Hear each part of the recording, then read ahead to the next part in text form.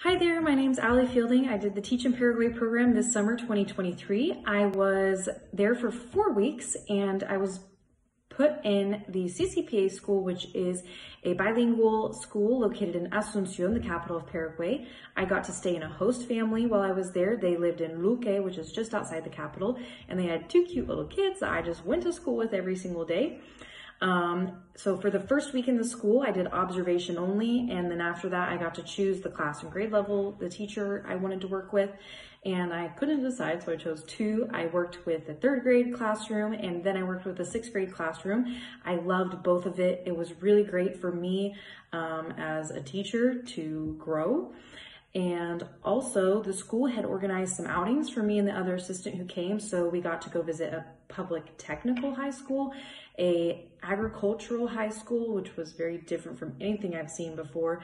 And we got to go see a tribal village of the Guarani people who are the indigenous people living in Paraguay.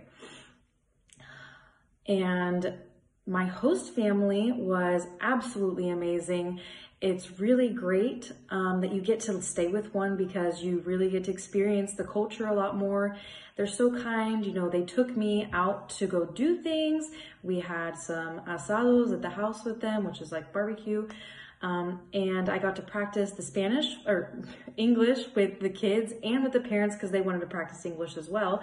But I also was practicing my Spanish with them and learning so much because you don't really need to have a, a high level of Spanish to do this program. You can have a basic level of Spanish, absolutely. Um, and while you're there, your Spanish level is going to grow.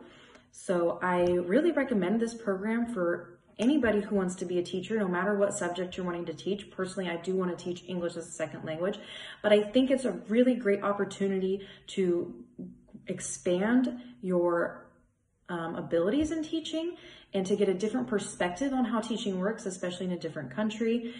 And just to open up your eyes about the world and experience a wonderful, lovely culture and get to travel a bit around Paraguay or maybe some other countries in South America um, improve your Spanish. And I absolutely loved my time there. It, I had no negatives. The program is amazing, and I really recommend that more people do the program.